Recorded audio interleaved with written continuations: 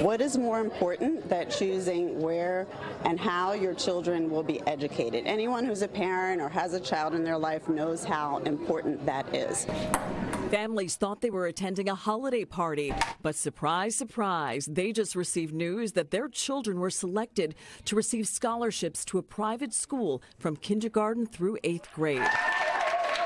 To make it even sweeter, to the school of their choice all made possible by the nonprofit Children's Scholarship Fund Philadelphia. This means a choice between attending a low achieving school and attending a quality, safe school that a family chooses from over 150 schools throughout the region. So we're really empowering parents and supporting them through what is the most important decision they're making in their lives right now. This annual lottery was the biggest jackpot for a group of Philadelphia families.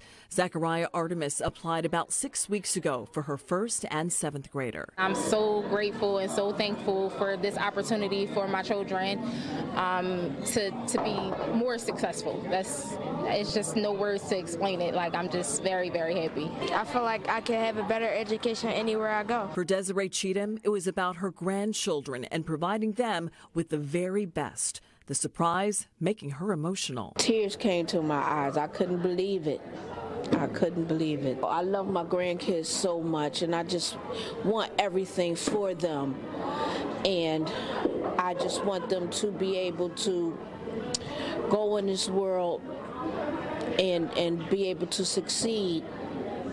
And what better way to do that than to have proper education? Jacqueline London, NBC 10 News.